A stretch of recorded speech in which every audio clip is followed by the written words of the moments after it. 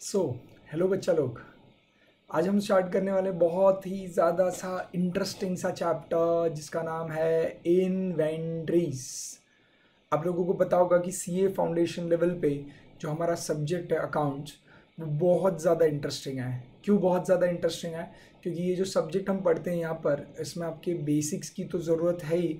पर उन बेसिक्स को लेकर जब हम एकदम ही ऊंचाइयों पर जाते हैं, जब अकाउंट्स के इतने ही भारी भारी एडवांस कॉन्सेप्ट्स को देखते हैं और उसी पॉइंट ऑफ़ टाइम पे हम लोग उस कॉन्सेप्ट्स को पढ़ते वक्त हमारे बेसिक्स के डेप्थ में भी जाते हैं तो जो अप्स एंड डाउन इस सब्जेक्ट के अंदर, जहाँ पर हम कुछ चैप्टर्स देखेंगे, जिस एक ही चैप्टर में पढ़ते वक्त हम किसी एकदम ऊँचे तक कॉन्सेप्ट को लेकर जाएँगे और फिर उतनी हाइट पर पहुँचने का जब हम वापस एकदम नीचे डेप्थ में जाएँगे उस कॉन्सेप्ट के अंदर सो जो अप्स एंड डाउन से जो वेरिएशन है, वो बहुत ही ज़्यादा एक्साइटमिंग एक्साइटिंग और एडवेंचरस है इस सिलेबस के अंदर। आपका अकाउंट्स का सिलेबस बहुत ही ज़्यादा मैं कह सकता हूँ कि इंटरेस्टिंग होने के पीछे वजह बहुत सिंपल सी है कि बेसिक्स को बहुत ज़्यादा इंपॉर्टेंस दिया गया है। ऐसे चैप्टर्स आपके सिलेबस में इंटीग्रेट किए गए हैं, जो आपके बेसिक्स को तो स्ट्रॉन्ग करते ही हैं और आपको एडवांस लेवल पे भी लेके जाते हैं। इसलिए मैं हमेशा कहता हूँ कि हमारे सिलेबस में उन बच्चों की हमें ज़रूरत है अकाउंट्स के अंदर वो पढ़ने वाले वैसे बच्चों का यहाँ पर सक्सेस फिक्स है, जो लोग कॉन्सेप्ट चुली जाते हैं। अब जितना ज़्यादा कॉन्सेप्ट चुली जाओगे, आपको उतना ज़्यादा मज़ा आएगा। समझ के करोगे तो बहुत आसान जाएगा। आप लोगों को सिर्फ़ सम ही सम सॉल्व करना है, सिर्फ़ नाम के लिए सॉल्विंग ही सॉल्विंग करना है, ऐसा ज़रूरी नहीं है। डन बढ़ू मैं आगे? अब आप, आज हम स्टार्ट करने वाले हैं चैप्टर नंबर फोर जिसका नाम है इन्वेंट्रीज राइट ये चैप्टर जैसे आपको डिप्रीसिएशन चैप्टर पता होगा तो depreciation chapter was entirely revolving around accounting standard ten that is property plant and equipment वैसे जो आपका ये चैप्टर है inventories it deals with accounting standard two ये पूरा डील करेगा अकाउंटिंग स्टैंडर्ड टू जिसका नाम भी यही है वैल्यूएशन ऑफ़ इन्वेंट्रीज तो वापस जैसे मैं आपको हमेशा कहता आ रहा हूँ कि हमारे अकाउंटिंग में स्टैंडर्ड्स का बहुत बड़ा रोल रहता है। जाने अनजाने हम जो भी सॉल्व कर रहे हैं, जो भी रिकॉर्ड कर रहे हैं, वो किसी ना किसी अकाउंटिंग स्टैंडर्ड के हिसाब से उसके प्रोविजंस को फॉलो करके ही हम लोग यहाँ पे आज के डेट पे रिकॉर्डिंग और लिखने का काम करते हैं। सिर्फ़ बात ये होती है कि हमें पता नहीं होता है कि ये इस अकाउंटिंग स्टैंडर्ड के हिसाब से हम ऐसा कर रहे हैं बट है तो कहीं ना कहीं अकाउंटिंग स्टैंडर्ड से रिलेटेड ये चैप्टर के बारे में मैं अगर आपको क्लियर कट बता दूँ तो ये चैप्टर की मुझे दो जगहों पर ज़रूरत है। ये चैप्टर जो आज आप पढ़ने वाले हो, ये मुझे चैप्टर सेवन यूनिट टू के वक्त वापस काम आएगा। ये चैप्टर हम chapter number seven unit two के साथ वापस इसे रिलेट करेंगे, या वहाँ पे वापस आने वाला है, जहाँ पर हम chapter seven unit two is preparation of financial statement मतलब हमारी सिंपल भाषा में बोलूँ तो फाइनल अकाउंट्स और unit two is about manufacturing entities that is आपने इलेवन स्टैंडर्ड में और ट्वेल्थ में जो पढ़ा है नॉन मैन्युफैक्चरिंग एंटिटीज़ मतलब ट्रेडिंग एंटिटीज़ के बारे में पढ़ा है। यहाँ पर हम मैन्युफैक्चरिंग एंटिटीज़ के बारे में फाइनल अकाउंट्स पढ़ेंगे। ये चैप्टर उधर से रिलेट होगा। सेकेंडली ये चैप्टर आपको काम आने वाला है सी ए इंटरमीडिएट लेवल पे अगर आप जाओगे तो इंटरमीडिएट लेवल का एक सब्जेक्ट है कॉस्टिंग शायद नाम तो सुना ही होगा। ये उस चैप्टर के लिए आपको काफ़ी ज़्यादा काम आएगा।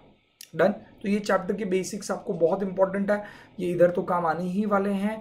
प्लस आपके इंटरमीडिएट लेवल के कॉस्टिंग सब्जेक्ट का भी बेस ये चैप्टर बनाने वाला है। तो प्लीज़ ट्राई टू अंडरस्टैंड अगर मैं रेड करूँ कि आपके सिलेबस में जो इंपॉर्टेंट चैप्टर्स कौन से हैं, जो लॉन्ग रन के हिसाब से काम के हैं तो नंबर वन रेटिंग इस चैप्टर को मिलेगी, जो लॉन्ग रन के हिसाब से बहुत काम का है।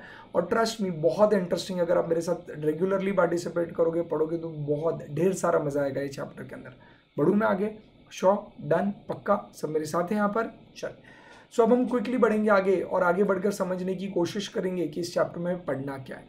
बेटा, ये चैप्टर के बारे में पढ़ने से पहले या ये चैप्टर को शुरू करने से पहले हम कुछ चीज़ें पहले समझना ज़्यादा ज़रूरी है। हम पहले वो समझने की कोशिश करेंगे चैप्टर में प्रोसीड करने से पहले। बेटा, ये चैप्टर में नाम दिया गया है, पहले वर्ड यूज़ किया गया है इन्वेंट्री बेटा इन्वेंट्री जिसको आप नॉर्मल भाषा में, इसको आप नॉर्मल भाषा में समझते थे स्टॉक इन्वेंटरी को आप नॉर्मल भाषा में बोलते थे स्टॉक जैसे आज तक आपने क्लोजिंग स्टॉक देखा है ओपनिंग स्टॉक देखा है. अनफॉर्चुनेटली मैं आपको कहूँ, आज तक के आपने जो भी अकाउंटिंग पढ़ा है, उसमें स्टॉक्स को इतना इम्पोर्टेंस नहीं दिया गया. मतलब आप लोगों ने जर्नल पढ़ा लेजर पढ़ा फाइनल अकाउंट्स पढ़े बट आपने आज तक बहुत सारा अलग अलग सिलेबस में चैप्टर्स पढ़े रहेंगे डिपेंडिंग आप इलेवन ट्वेल्थ जो भी क्रॉस कर चुके हो आज के डेट पे। आपने बहुत सारे कंसेप्ट पढ़े रहेंगे फ्रेंकली बोलूँ, पर अनफॉर्चुनेटली आपका आज तक का सिलेबस ओपनिंग क्लोजिंग स्टॉक्स को इग्नोर करता था। या रादर मैं कहूँगा कि उनको जितना डिजर्विंग डिस्कशन चाहिए था, उतना डिस्कशन आपके आज तक के सिलेबस में दिया गया नहीं है। स्टॉक्स के रिगार्डिंग आप लोगों को बहुत कुछ बताना चाहिए था, बताना जाना, बताया जाना चाहिए था बट नहीं कवर किया गया। तो ये चैप्टर आपके स्टॉक्स को बहुत डिटेल में कवर करता है। इन्वेंट्री मतलब क्या? इन्वेंट्री मतलब availability of the stock but stock word में बोलूँगा एक नैरोअर वर्ड है मेन वर्ड इज़ इन्वेंट्री है। इन्वेंट्री को मैं सिंपल भाषा में बोलूँ तो आपका स्टॉक है अभी के लिए। अगर मैं बोलूँगा आपके पास आज गोडाउन में सौ यूनिट्स पड़े हुए हैं तो मैं बोलूँगा सौ यूनिट जो स्टॉक है मतलब सौ यूनिट का आपके पास इन्वेंट्री है मतलब एक तरीके से स्टॉक है। डन पक्का? अब आपने क्लोजिंग स्टॉक की अकाउंटिंग एंट्री पढ़ी रहेगी, सबको पता होगा क्लोजिंग स्टॉक कैसे रिकॉर्ड किया जाता है। बता दो जल्दी क्लोजिंग स्टॉक कैसे रिकॉर्ड किया जाता है मतलब इन्वेंट्री को आप कैसे रिकॉर्ड करते हो? तो आप दो इफ़ेक्ट लेते थे आज तक। एक इफ़ेक्ट कहाँ जाके लिखते थे बेटा? ट्रेडिंग अकाउंट के कहाँ लिखोगे? बोल जल्दी। क्रेडिट साइड में, और दूसरा कहाँ लिखते थे बैलेंस शीट के असेट साइड में, ऐसे आपने दो इफ़ेक्ट स्टॉक के इन्वेंट्री के पढ़े रहेंगे। इन्वेंट्री मतलब ही स्टॉक होता है, बट मैं आपको पाँच मिनट बाद बताऊँगा what is the difference between inventory and stock but फ़िलहाल के लिए इन्वेंट्री मतलब स्टॉक होता है। क्लोजिंग स्टॉक की आपने एंट्रीज देखी होगी, अब ट्रेडिंग अकाउंट के क्रेडिट में जाके लिखते थे बैलेंस शीट के एसेट्स में लिखते थे। ये चैप्टर में, ये चैप्टर में इंटरेस्टिंग बात यह है ये चैप्टर मेनली डील्स विद भले इस चैप्टर का नाम इन्वेंट्री बट फ्रेंकली स्पीकिंग इस चैप्टर का एक्चुअल या ओरिजिनल नाम होना चाहिए वैल्यूएशन ऑफ़ इन्वेंट्री जो एक्चुअली अकाउंटिंग स्टैंडर्ड टू का भी नाम है। बेटा, ये चैप्टर मोर ओवर डील करता है अकाउंटिंग से ज़्यादा वैल्यूएशन के ऊपर। वापस आता हूँ मैं क्या बोल रहा हूँ, समझाता हूँ। बेटा, ये चैप्टर मोर ओवर डील करता है अकाउंटिंग से ज़्यादा वैल्यूएशन के ऊपर। हमारे लाइफ में अकाउंटिंग के साथ ज़्यादा ज़्यादा इंपॉर्टेंट वैल्यूएशन भी होता है बेटा। वैल्यूएशन जैसे क्या? देखो, ये चीज़ मैं पहले भी बता चुका हूँ। आप अगर अकाउंट्स का इलेवन स्टैंडर्ड का बेसिक अगर आपको याद रहेगा तो वहाँ पर क्लियर कट बोला है first there should be measurement and then it should be recording recording से पहले एक स्टेप आता है मेज़रमेंट का। मेज़रमेंट मतलब क्या? आप मेजर करते हो ट्रांजेक्शन को। मेजर कैसे किया जाता है? तो मनी मेज़रमेंट प्रिंसिपल नाम का एक प्रिंसिपल है, जो कहता है anything you record in the books of accounts must be measured in terms of money so ultimately जब मैं मेज़रमेंट की बात कर रहा हूँ तो आप मेजर कैसे करोगे मनी में? तो वापस मेरा मुद्दा ये है रिकॉर्ड करने से पहले, पहला स्टेप जो आता है recording is a later step the former step is measurement depreciation chapter में भी यही होता है। आप पहले डिप्रीसिएशन कैलकुलेट करते हो एंड फिर उसे रिकॉर्ड करते हो। अगर आपको आपका सिलेबस पता होगा, जिनका डिप्रीसिएशन चैप्टर हो चुका है उन्होंने एक चीज़ देखी होगी जिनका नहीं हुआ, वो आगे पढ़ लेंगे, कोई बड़ी बात नहीं है। डिप्रीसिएशन चैप्टर जिनका हो चुका, उन्होंने ये चीज़ देखी होगी डिप्रीसिएशन के अंदर कि पहले आप लोग मेज़रमेंट करते हो डिप्रीसिएशन को। मेज़रमेंट करते हो मतलब क्या करते हो? डिप्रीसिएशन की अमाउंट ढूंढते हो एंड फिर उसे रिकॉर्ड करते हो। आपका वो वाला जो चैप्टर था डिप्रीसिएशन चैप्टर वो दोनों पे फोकस करता था। आप देखोगे उस चैप्टर में मेज़रमेंट के बारे में भी बहुत कुछ बोला है। Straight line method written down value method और जो बहुत सारी मेथड्स हैं दे डील विथ मेज़रमेंट तो मेज़रमेंट के भी बारे में बहुत कुछ बोला है और अलॉन्ग विद दैट रिकॉर्डिंग के बारे में भी बहुत कुछ बोला है। डेबिट क्रेडिट क्या करना, कैसे रिकॉर्ड होगा, कैसे डिप्रिशिएशन कैलकुलेट होगा तो प्रोविज़न विदाउट प्रोविज़न जो मेथड्स होती हैं सब, ये सारी आपको मेथड्स किससे डील कराती recording so I am trying to say when you studied depreciation chapter you had emphasized on both the aspects, that you have understood your measurement aspect in depth as well as recording aspect was also taught you in very detail so there in depreciation chapter both the aspects were given the somewhat equal importance but when we are coming to the inventory chapter the more emphasis is on valuation rather than recording recording यहाँ पर इतना detail में नहीं पढ़ाया जाएगा because recording बहुत आसान होता है क्लोजिंग स्टॉक की एंट्री बहुत आसान होती है यहाँ पे क्लोजिंग स्टॉक का वैल्यूएशन पढ़ाया जाएगा मतलब क्या आपने जो आज तक फाइनल अकाउंट सॉल्व किया होगा आपको पता होगा, हर बार फाइनल अकाउंट्स की जो पहली एडजस्टमेंट होती थी, वो क्लोजिंग स्टॉक की होती थी। आपको हर बार बोल दिया जाता था closing stock was valued at rupees forty thousand और आप जाके इस तरीके से ये एंट्री ले लेते थे, ये डबल इफ़ेक्ट ले लेते थे इसके, अगर आप दिख रहे ये चीज़ों का आप डबल इफ़ेक्ट लेके ख़त्म कर देते थे। तो आपने हमेशा फाइनल अकाउंट्स जब भी सॉल्व किया हुआ आज तक, आपको रेडीमेड परोस कर दिया जाता था क्लोजिंग स्टॉक की amount I hope you with me आपको डायरेक्टली रेडीमेड क्वेश्चन में क्लोजिंग स्टॉक की अमाउंट मेंशन कर दी जाती थी कि इतने रुपीज़ का आपका क्लोजिंग स्टॉक है दैट्स इट काम हो गया, खत्म हो गया आपका aspect right so closing stock की जो अमाउंट होती थी या क्लोजिंग स्टॉक की जो वैल्यू होती थी, वो आपको डायरेक्टली गिवन होती थी क्वेश्चन के अंदर। आप सिर्फ़ क्या करते थे? रिकॉर्डिंग करते थे। मतलब अगर मैं डिटेल में डिस्कस करूँ तो आपने, जैसे मैंने कहा कि पहला स्टेप हमेशा क्या होना चाहिए? आपका मेज़रमेंट होना चाहिए। मेज़रमेंट मतलब ही क्या? वैल्यूएशन होना चाहिए। और नेक्स्ट स्टेप क्या होना चाहिए? आपका रिकॉर्डिंग होना चाहिए। रिकॉर्डिंग मतलब ही क्या? अकाउंटिंग होना चाहिए। That is debit and credit जो आप करते हो दैट इज़ रिकॉर्डिंग तो होता क्या था? आपने हमेशा सिर्फ़ और सिर्फ़ रिकॉर्डिंग पढ़ा है। मेज़रमेंट आपने कभी किया ही नहीं है। क्यों नहीं किया मेज़रमेंट क्योंकि आपको क्वेश्चन में अमाउंट मेज़रमेंट मतलब वैल्यू रेडीमेड दे दी जाती थी क्लोजिंग स्टॉक की। इजेंट इट सो आपने इतने सारे सम सॉल्व किए, कभी आपको अमाउंट ढूँढने की ज़रूरत नहीं पड़ी। आपको अमाउंट गिवन होती थी क्वेश्चन में, आ रहे ध्यान में? जैसे देखो फाइनल अकाउंट्स में भी आपने देखे रहेंगे डिप्रीसिएशन का। तो डिप्रीसिएशन आपको परसेंटेज में दिया जाता था तो आपको पहले डिप्रीसिएशन की अमाउंट ढूंढनी पड़ती थी, फिर रिकॉर्ड करना पड़ता है।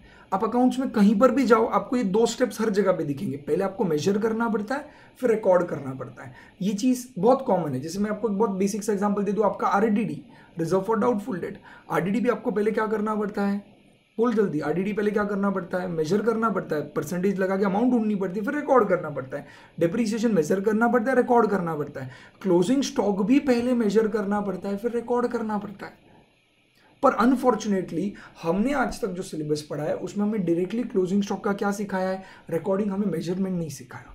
आपके मन में सवाल आना चाहिए कि जब क्वेश्चन में हर बार बोला जाता था closing stock was valued at rupees thirty thousand तो तीस हज़ार आया कहाँ से? अब ये थर्टी थाउज़ेंड आया कैसे? ये चैप्टर जो अब हम पढ़ने जा रहे हैं this chapter is going to deal with this aspect that is valuation of inventory तो ये चैप्टर रिकॉर्डिंग पे इतना ज़्यादा ध्यान नहीं देगा। इस चैप्टर में हम 95 परसेंट जो भी पढ़ने वाले हैं, वो सिर्फ़ वैल्यूएशन पढ़ने वाले हैं कि आखिर कोई भी इंसान अपनी इन्वेंट्री अपने स्टॉक का वैल्यूएशन कैसे करेगा? How exactly you are going to find out the value amount of your closing stock ये इस चैप्टर में हम डिटेल में पढ़ेंगे। Sound interesting I hope connect हो रहा है। मैं क्या बोलना चाह रहा हूँ? तो अब डेबिट क्रेडिट के बारे में ये चैप्टर डील नहीं करेगा। ये चैप्टर की अच्छी बात है। ये चैप्टर किसके बारे में डील करेगा बेटा? ये चैप्टर सिर्फ़ वैल्यूएशन के बारे में डील करेगा कि अमाउंट कैसे आई अमाउंट कैसे ढूंढी जाएगी, उसके बारे में बताएँ राइट क्योंकि रिकॉर्डिंग आप ऑलरेडी फाइनल अकाउंट्स चैप्टर में पढ़ चुके हो। राइट अब एक मैं आपको फैक्ट बता दूँ प्रैक्टिकली कभी भी क्लोजिंग स्टॉक का प्रोसीजर क्या होता है वैल्यूएशन करने का? तो प्रोसीजर में एक चीज़ हमेशा की जाती है कि क्लोजिंग स्टॉक का वैल्यू ढूँढने के लिए हम फ़िज़िकल काउंटिंग करते हैं। ये मेरा एक थम रूल याद रखना। नॉर्मली आप जब भी क्लोजिंग स्टॉक ढूँढने जाते हो तो यूजुअली फ़िज़िकल काउंटिंग किया जाता है। गोडाउन में जाके देखा जाता है, आपके पास कितना स्टॉक है। राइट और फिर उसकी अमाउंट ढूंढी जाती है। ये सब हम इस डिटेल में, इस चैप्टर में पढ़ने वाले हैं। बैकग्राउंड सबको क्लियर है। बढ़ू मैं आगे? पक्का? अब वैल्यूएशन ऑफ़ इन्वेंट्री पढ़ने से पहले आपको कुछ और चीज़ पढ़नी पड़ेगी। इन्वेंट्री की अमाउंट कैसे ढूंढेंगे, ये पढ़ने से पहले आपको सबसे पहले इन्वेंट्री को समझना पड़ेगा। मतलब स्टॉक को समझना पड़ेगा कि आपके पास 31 मार्च को क्या क्या पड़ा है। स्टॉक क्या पड़ा हुआ है राइट तो अब मैं बात करूँगा क्लोजिंग स्टॉक आपको एक चीज़ मैं बता दूँ, पहले ही क्लियर कर देता हूँ वैल्यूएशन किसका किया जाता है? ओपनिंग स्टॉक या क्लोजिंग स्टॉक का? तू बता। किसका करूँगा वैल्यूएशन ओपनिंग स्टॉक या क्लोजिंग स्टॉक का? ऑब्वियसली वैल्यूएशन किसका होगा? क्लोजिंग स्टॉक का। ओपनिंग स्टॉक का वैल्यूएशन किया नहीं जाता क्योंकि इस साल का क्लोजिंग स्टॉक ऑटोमेटिकली अगले साल का क्या बन जाता है? ओपनिंग स्टॉक तो तेरे को एक ही बार वैल्यूएशन करना है, वो भी किसका बेटा? क्लोजिंग स्टॉक का। एक ही बार रिकॉर्डिंग करना ये गलत है। रिकॉर्डिंग दो बार करना है। क्लोजिंग स्टॉक की भी एंट्री होती है और ओपनिंग स्टॉक की भी एंट्री होती है। वो मैं बताऊँगा इस चैप्टर के एंड में कैसे अकाउंटिंग होता है। पर एंट्री क्लोजिंग स्टॉक की भी होती है ओपनिंग की भी होती है। बट वैल्यूएशन दो बार नहीं होता। अमाउंट कैलकुलेशन एक ही बार होता है। कौन सा? अमाउंट कैलकुलेट किया जाता है क्लोजिंग स्टॉक का। तो जब भी मैं इस चैप्टर में वैल्यूएशन की बात करूँगा तो मैं वैल्यूएशन ऑफ़ क्लोजिंग स्टॉक ही बार बार ये वर्ड यूज़ करूँगा।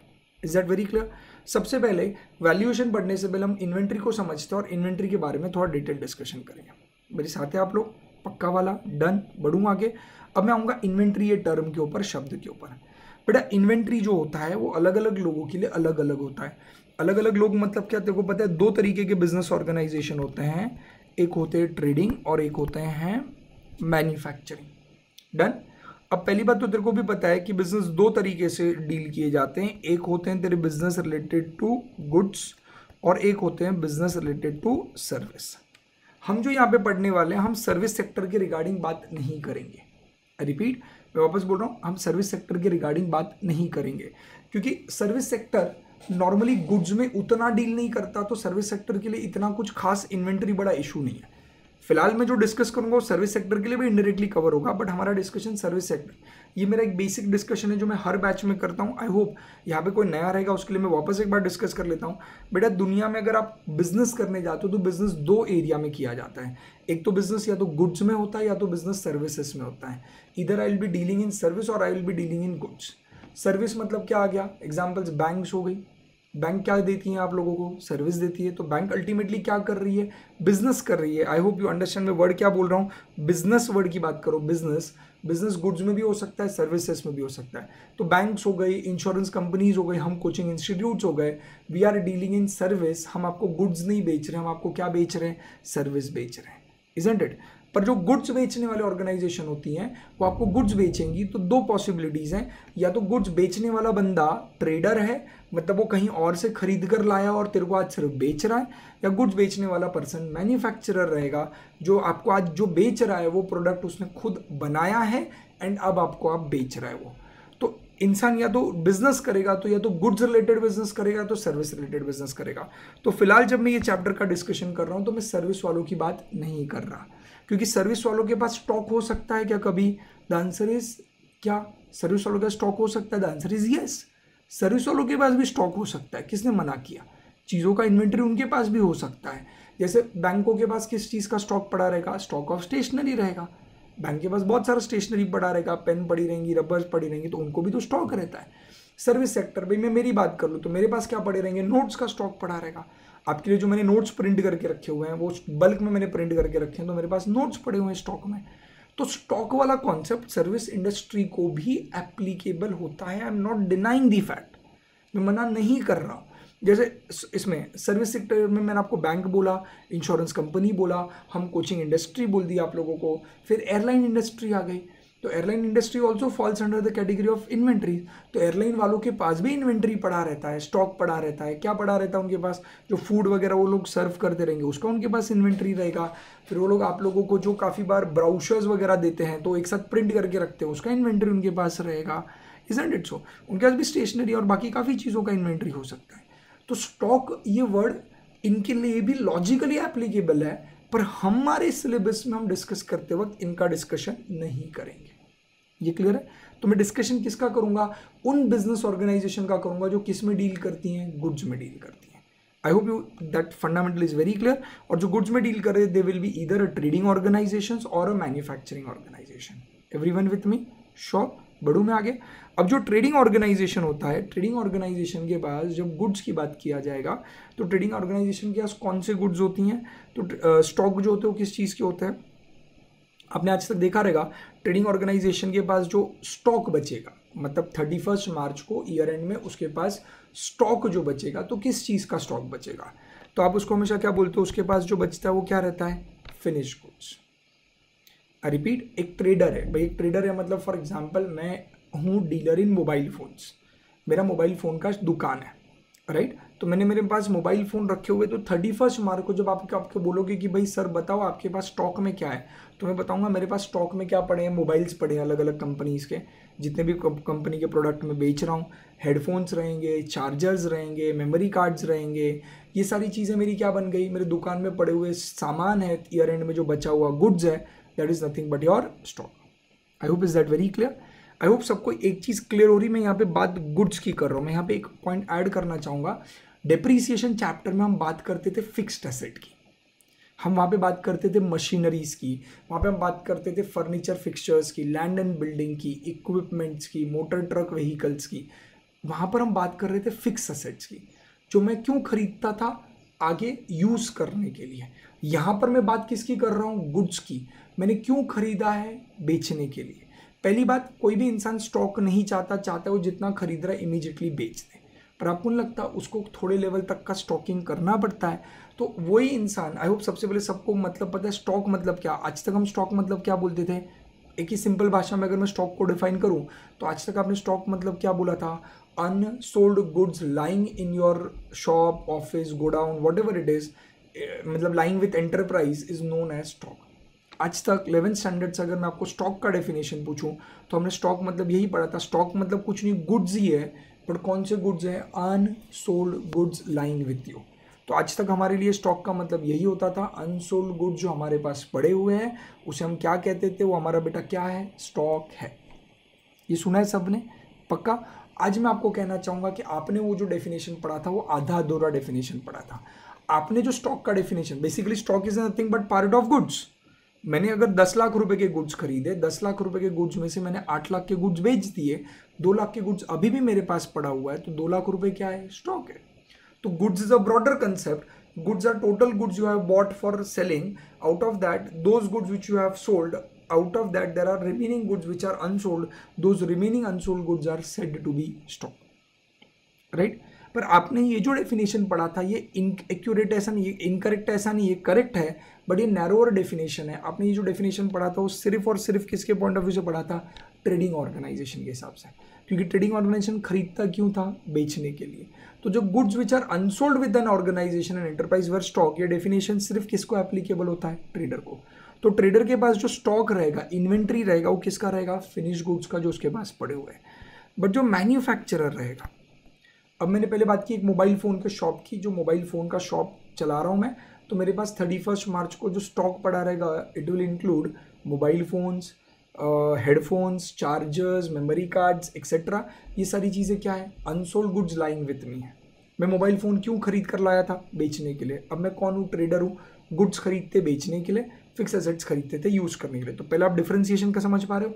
उधर बात चल रही थी फिक्स एसेट्स की, यहाँ पे बात चल रही है गुड्स की। दूसरी बात मैंने, दूसरा डिमेंशन समझा है कि बिज़नेस करने के दो तरीके रहते हैं। एक आप गुड्स रिलेटेड बिज़नेस कर सकते हो, एक सर्विस रिलेटेड हम सर्विस रिलेटेड यहाँ पे बात नहीं कर रहे हैं, हम बात किस रिलेटेड कर रहे हैं? गुड्स रिलेटेड तो सबको अपना अप्रोच क्लियर है। स्पेसिफिक टारगेट पे हर कोई आ गया मेरे पास। अब मैं एक एनवायरनमेंट कौन से एनवायरनमेंट में ये चैप्टर डिस्कस कर रहा हूँ कि तू एक बिजनेसमैन है, तू डील करता है गुड्स में तो सर्विस में डील नहीं करता। और 31 मार्च को तेरे पास कुछ तो बच गया। उसको तू बोलेगा, तेरे पास 31 मार्च को जो बच गया वो तेरा क्या है? इन्वेंट्री पर तू दो तरीके का हो सकता है। तू या तो ट्रेडर हो सकता है या तो मैन्युफैक्चरर हो सकता है। तो तू ट्रेडर है तो तेरे पास 31 मार्च को गोडाउन में क्या पड़ा रहेगा? गुड्स पड़े रहेंगे जो तूने खरीदे थे। देवर ऑलरेडी फिनिश्ड बट जो मैन्युफैक्चर जैसे मोबाइल फ़ोन का एग्ज़ाम्पल है मोबाइल शॉपिंग का एग्ज़ाम्पल यहाँ।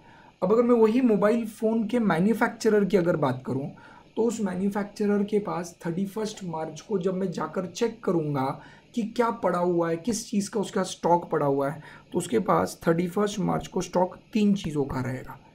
पहला स्टॉक उसके पास जो रहेगा, वो रहेगा raw material isn't it so तो थर्टी फ़र्स्ट मार्च को मैन्युफैक्चरर के पास जो इन्वेंट्री रहेगा इन्वेंट्री जो रहेगा स्टॉक रहेगा, वो किस चीज़ का रहेगा? रॉ मटेरियल मानता है तू? दूसरा उसके पास जो थर्टी फ़र्स्ट मार्च को स्टॉक बचा रहेगा, वो किस चीज़ का रहेगा? हम उसको नाम देते हैं क्या? Work in progress work in progress को और एक नाम दिया जाता है that is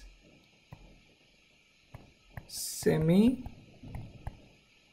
finished goods अब मैं जब तेरे पास थर्टी फ़र्स्ट मार्च को आया चेक करने के लिए कि बता तेरे पास क्या क्या पड़ा हुआ है इकतीस मार्च को तो मैं तब जब तेरे दर सारे गोडाउन खोल कर देखे, दुकान खोल कर देखी तो मुझे पता चला तेरे पास रॉ मटेरियल पड़ा है।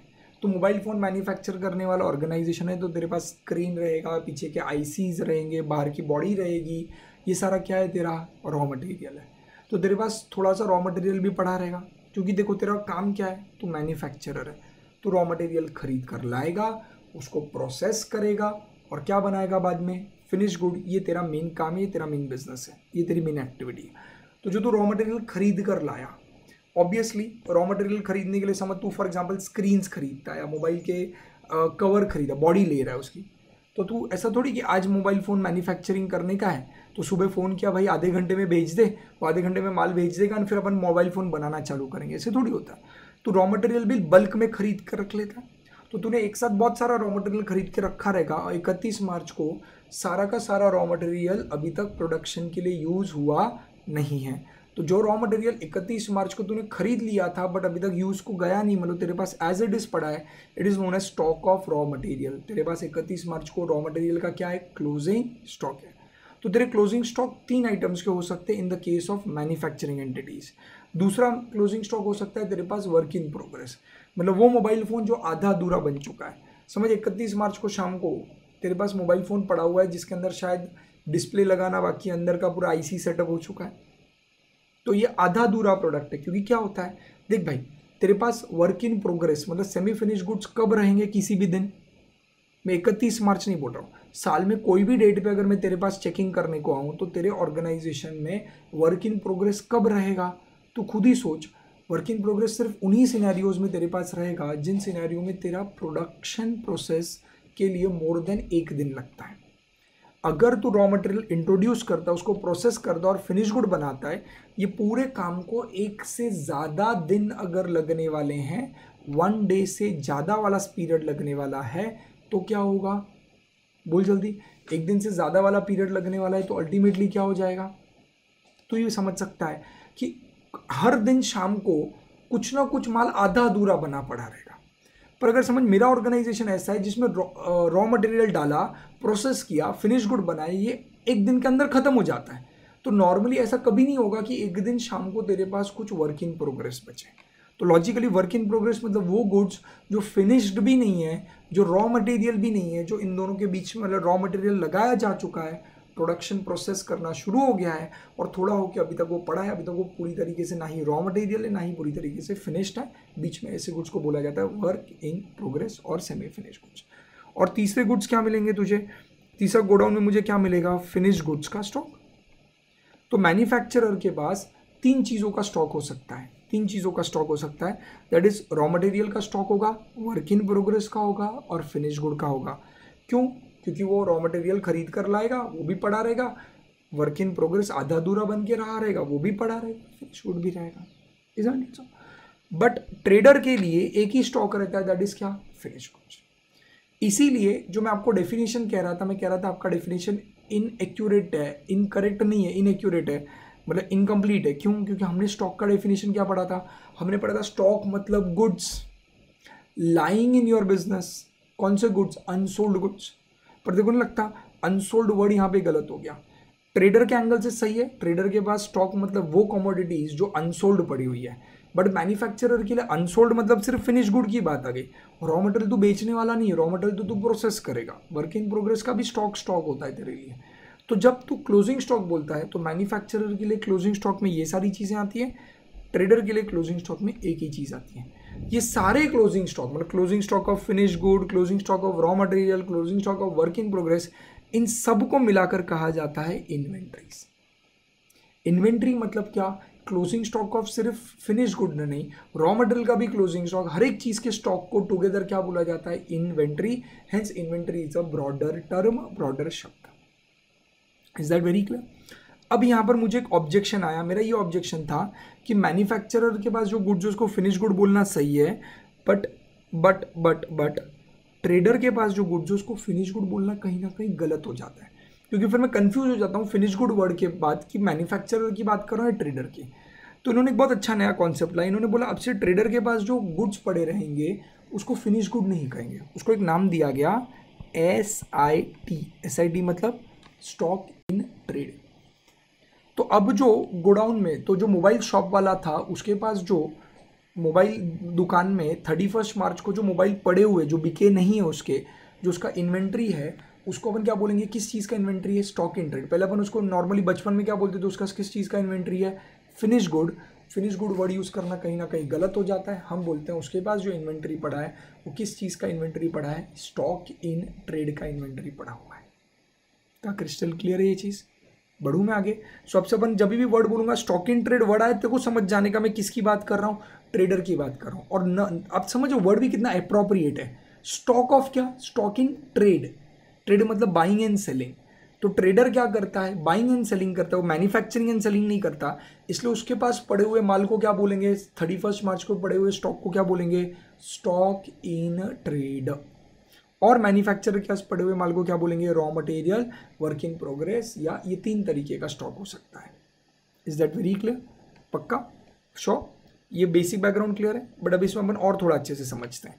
इसलिए देखो, यहाँ पे आपके ट्री में क्लियर कट बोला in case of manufacturing concern और in case of trading concern अब ट्रेडिंग कंसर्न के अंदर तेरे को पता है ट्रेडेड गुड्स या दूसरा वर्ड क्या यूज़ किया गया? है स्टॉक इन ट्रेड का क्लोजिंग स्टॉक होता है। हम क्या पढ़ रहे हैं? टाइप्स ऑफ़ इन्वेंट्री तेरे पास क्या क्या तरीके का स्टॉक हो सकता है? इन्वेंट्री हो सकती है। वही मैन्युफैक्चरर के लिए मैंने आपको बताया, एक रॉ मटेरियल हो सकता है, एक वर्क इन प्रोग्रेस हो सकता है, एक फिनिश गुड हो सकता है। यहाँ पे और दो एक नाम लिए गए हैं that is stores and spares और पैकिंग मटेरियल तो अगर तू मैन्युफैक्चरर है तो तेरे पास क्लोजिंग स्टॉक में ईयर एंड में, तेरे पास क्या क्या रह सकता है? तो रॉ मटेरियल रह सकता है, ठीक है वर्क इन प्रोग्रेस हो सकता है फिनिश गुड और स्टोर्स एंड स्पेयर्स बोला हुआ उन्होंने स्टोर्स एंड स्पेयर्स मतलब क्या? ये वो छोटी मोटी चीज़ें हैं जो तुझे प्रोडक्शन के लिए काम आती हैं। स्पेयर्स हैं स्टोर्स हैं। स्टोर्स मतलब वही बची कुची चीज़ें जो तेरे को छोटी मोटी चीज़ें जो प्रोडक्शन के काम आती है। जैसे फॉर एग्ज़ाम्पल जब तू मोबाइल फ़ोन बनाता है तो मोबाइल फ़ोन बनाते हो जब तू रॉ मट रॉ मटेरियल में जो प्लास्टिक बॉडी है तेरे पास, या मेटल बॉडी है, उस बॉडी को पहले तू क्लीन करता है। और उसको मे भी क्लीन करने के लिए तुम कोई तो डेटॉल जैसा या कोई तो एक लिक्विड डिसइनफेक्टेंट लिक्विड यूज़ करते रहोगे केमिकल यूज़ करते रहो, उस केमिकल में वो बॉडी को तुम मे बी फॉर एग्ज़ाम्पल दो दिन के लिए डिप करके रखते रहोगे। ताकि उसके अंदर से स्मेल प्लास्टिक जनरली स्मेल करता है बनने के बाद, या जो भी उसके अंदर है, वो सारी चीज़ें निकल जाएँ। तो मे बी आप उसको डिप करके रखते रहोगे उस लिक्विड के अंदर। एक आधा केमिकल रहेगा डेटॉल जैसा कोई तो एक आधा। अब वो केमिकल तेरा क्या बन गया? अब वो केमिकल क्या बन गया तेरे लिए? स्टोर्स बन गया स्टोर्स बन गया। अरे समझ में तो तेरे पास ऐसा भी हो सकता है कि तूने वो केमिकल भी खरीद के रखा हो। तेरे पास थर्टी फ़र्स्ट मार्च को वो केमिकल भी पड़ा रहे। जैसे आज के ऑर्गेनाइजेशन में हर एक गुड्स के ऊपर आपको सैनिटाइजर स्प्रेड करना पड़ता है। तो सैनिटाइजर जो लेके रखा है वो आपके लिए भी एक तरीके का क्लोजिंग स्टॉक ही है क्योंकि वो तुम्हारा एक तरीके का स्पेयर से तुम्हारे पास पड़ा हुआ है। स्टोर है सॉरी तुम्हारे पास पड़ा हुआ है। वो प्रोडक्शन में यूज़ होगा। देखो रॉ मटेरियल और स्पेयर्स में क्या फ़र्क होता है? Raw material becomes the part of finish good मैं बाउंसर फेंक रहा हूँ, पकड़। Raw material ultimately becomes the part of finished good. Stores never become the part of finished good. I repeat. Raw material becomes the part of finish good जैसे mobile phone के अंदर वो raw material क्या आ गया? उसकी body आ गई screen आ गया, अंदर के आईसीज आ गए। ये सब क्या बन गया? रॉ मटेरियल क्यों मैं इसे रॉ मटेरियल कह रहा हूँ? क्योंकि जो फिनिश गुड मोबाइल बनेगा, उसके अंदर ये सारे, उसका पार्ट बनने वाले फिनिश गुड का। बट वो जो chemical liquid it is not going to be the part of finish good इसलिए अपन उसको एक दूसरा नाम देते हैं स्टोर्स तो ऐसी चीज़ें भी खरीद के रख लेगा। तो वो भी तेरे लिए एक तरीके का स्टॉक बन गया। स्पेयर्स में बाद में आऊँगा। और नाम से तेरे को समझ में आ जाता है पैकिंग मटेरियल पैकिंग मटेरियल भी क्या बन सकता है? तो जो पैकिंग मटेरियल बॉक्सेस रखता रहेगा, जिसमें तो उस मोबाइल को पैक करेगा, फिर उसके ऊपर लगने वाला और भी बहुत सारी चीज़ें वो प्लास्टिक का पैकिंग लगेगा सेलो टेप्स जो लगेंगी, ये सारी चीज़ें या जब तू दस दस पचास पचास मोबाइल के बड़े बड़े बॉक्सेस बनाएगा तो बड़े बॉक्स एक बॉक्स के अंदर मोबाइल फ़ोन रखेगा बट फिर पचास पचास मोबाइल फ़ोन का भी एक बड़ा बॉक्स बनाएगा। वो बड़ा बॉक्स भी तेरे लिए एक तरीके का क्या बन गया?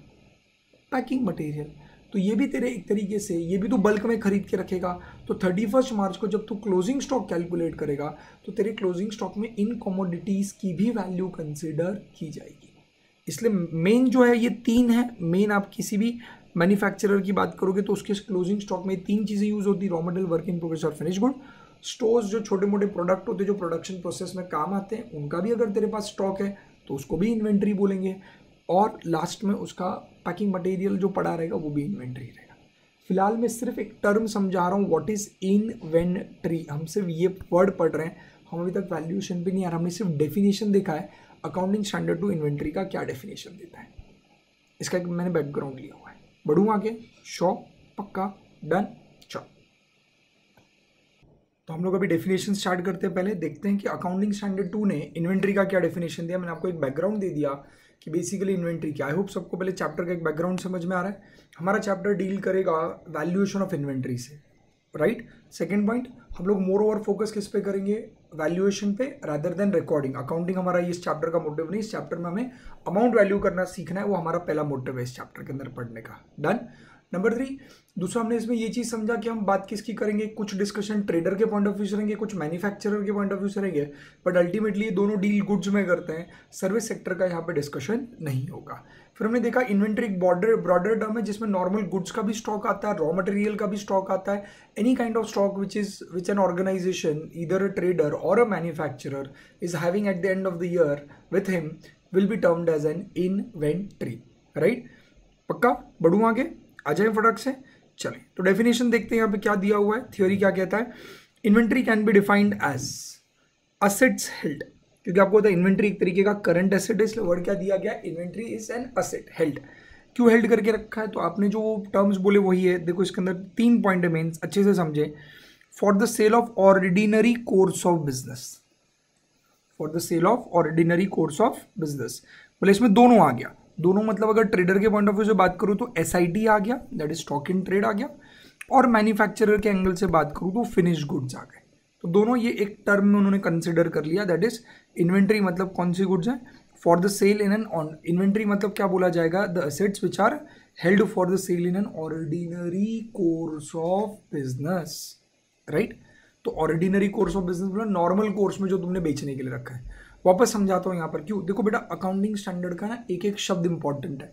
जिस तरीके से आप लॉ पढ़ते थे ना लॉ में किस तरीके से आप लैंग्वेज को बहुत अच्छे से इंटरप्रेट करने की एक आदत डेवलप करते हो you have to keep the same approach when you are studying anything with reference to accounting standard A S का अगर कंटेंट उठा के कभी भी पढ़ रहे हो तो आपको लॉ के तरीके से ही उसको इंटरप्रेट करना है। जैसे, मेरे पास एक मशीनरी थी, वो पुरानी हो गई है, अब मेरे को शायद उसको रिप्लेस करने के लिए दूसरी खरीदनी है। तो मैंने ये मशीनरी को बेचने के लिए निकाला। तो इन लोगों को बोल दिया न्यूज़पेपर में ऐड दे दी ब्रोकर लोगों को बोल दिया, भाई, किसको रहेगा कस्टमर तो बताना मुझे बेचना है. राइट सिमिलरली तो गुड्स में भी वैसे ही करता है। तो गुड्स अगर तुझे बेचने हैं तो तू क्या करता है? न्यूज़पेपर में मार्केटिंग देगा, दुकान के बाहर बड़ा सा बोर्ड लगाएगा तो डिस्प्ले में लगा के रखेगा दुकान में बाहर, कांच पे बेचने के लिए। यही करता है ना तू। तो इसको तू क्या बोल सकता है? तूने क्या कर के रखा है? Held for sale held for sale normal goods जो तू तेरे दुकान में बाहर बोर्ड लगाता है, जिसका एडवर्टीजमेंट देता है या फिर बाहर डिस्प्ले में लगा के रखता है, वो गुड्स है तेरे। वैसे ही मैंने अगर आज मशीनरी मेरे को बेच नहीं रही तो मैंने मशीनरी का एडवर्टीजमेंट दे दिया, मैंने घर के, मेरे ऑफ़िस के बाहर एक बोर्ड लगा दिया की भाई मशीनरी विकनी आहे, कोणी आहे का? म्हणजे तुम्हें if anyone interested contact on this number तो इस तरीके का मैंने बोर्ड लगा दिया एडवर्टीजमेंट दे दिया। तो दोनों एग्जाम्पल्स में, एक जगह पे मैं गुड्स बेच रहा हूँ, एक जगह पे मैं मशीनरी बेच रहा हूँ, दोनों हेल्ड फॉर सेल है। आई रिपीट मशीनरी में भी मेरा इंटेंशन उसको बेचने का आज डिराइव हो बन चुका है, क्योंकि मेरे को लग रहा है ये व्यू पुरानी हो चुकी है। गुड्स में भी मेरा इंटेंशन बेचने का है, दोनों जगहों पे मेरा इंटेंशन बेचने का है। तो in both the example both the items are held for sale इसलिए बेटा उन्होंने वर्ड हेल्ड फॉर सेल नहीं बोला, अच्छे से समझ बेटा। क्लियर कट बोला है in the ordinary course of business ये वर्ड बहुत इंपॉर्टेंट है। हेल्ड फॉर सेल है। But held for sale in क्या है? ऑर्डिनरी कोर्स ऑफ़ बिज़नेस मतलब तेरा रेगुलर बेसिस का रेगुलर बिज़नेस ही उस चीज़ को बेचना है तो वो हमारे लिए इन्वेंट्री है। मैं किसका डेफिनेशन पढ़ रहा हूँ? इन्वेंट्री का डेफिनेशन पढ़ रहा हूँ। I hope everyone with me inventory को क्या बोला गया है? Inventory can be defined as an asset which is held for sale in ordinary course of business आपने जो डेफिनेशन स्टॉक का पढ़ा था, वो आधा दूरा था, वो आपका बचपन का डेफिनेशन था, वो आपको जो बेसिक लेवल पढ़ाने के लिए बोला जाता था। In stock means unsold goods हो गया। अरे बच्चों, वो बचपन का था। अब अपन बड़े हो चुके हैं। अब अपन एडवांस डेफिनेशन पढ़ेंगे एक्चुअल डेफिनेशन पढ़ेंगे क्या था राइट तो पहला वर्ड आ गया, पहले डेफिनेशन का पहले पार्ट में क्या कवर हो गया? डेफिनेशन का first part deals with what दोनों के लिए ट्रेडर के लिए स्टॉक इन ट्रेड और मैन्युफैक्चरर के लिए फिनिश गुड दोनों इस हेडिंग के अंदर कवर हो जाते हैं। बढ़ू आगे। बेटा सेकेंड पॉइंट क्या बोला गया वहाँ पर? वो बस, अब उसको रेफरेंस कैसे पड़ेगा तू? लाइन कैसे पढ़ेगा? inventory can be defined as an asset held in the process of production. समझा? मैं कैसे पढ़ रहा हूँ? क्योंकि यहाँ पे और आया ना, पहले पॉइंट के बाद। और दिया ना। और क्या क्या बोला? In the process of production for such sale in the process of production in held है हेल्ड हेल्ड कैसा इन दी प्रोसेस है। In the process of production है। प्रोडक्शन के प्रोसेस में उसको तूने होल्ड करके रखा है और प्रोडक्शन करके क्या करेगा? उसको प्रोडक्शन होने के बाद तो उसको सच सेल वैसा ही सेल करेगा जो ऊपर जिस गुड्स को रखा था। इन द सेंस ये किसकी बात कर रहे हैं बेटा? Work in progress semi finish goods की बात किया जा रहा है। तो सेकेंड पॉइंट बोलता है inventory can be defined as an asset held in the process of production for such sale वापस और बोला है मतलब और तीसरा पॉइंट क्या बोलता है? फॉर द कंजम्पशन है क्या? In the production of goods or service for sale. For the consumption में क्या for the consumption in sale में क्या आ गया आपका? रॉ मटेरियल तो तीसरा पार्ट डेफिनेशन का थर्ड पार्ट किससे डील करता है? रॉ मटेरियल तो फ्रेंकली स्पीकिंग तो मेन चार चीज़ें हैं इधर स्टॉक इन ट्रेड जो एक ट्रेडर के लिए एक ही स्टॉक होता है that is stock in trade manufacturer के लिए कई सारी चीज़ों के स्टॉक होते हैं राइट तो ट्रेडर के लिए एक स्टॉक इन ट्रेड आ गया और मैन्युफैक्चरर के लिए फिर उन्होंने क्या बोल दिया? वर्क इन प्रोग्रेस आ गया. फिनिश गुड आ गया और नीचे रॉ मटेरियल आ गया। बट बेटा, यहाँ पर नहीं खत्म हुआ। आगे का पार्ट बहुत ज़्यादा इंपॉर्टेंट है, अच्छे से समझ। For consumption in the production of goods and services for sale sentence कैसे रीड करेगा स्टार्टिंग से? Inventory can be defined as an asset held for consumption in the production of goods and services for sale तो क्या करेगा? तो उसको consume करेगा। Consume in the production of goods आ रहा है समझ में? इंक्लूडिंग इंक्लूडिंग रॉ मटेरियल के साथ और क्या इंक्लूड करेगा तो?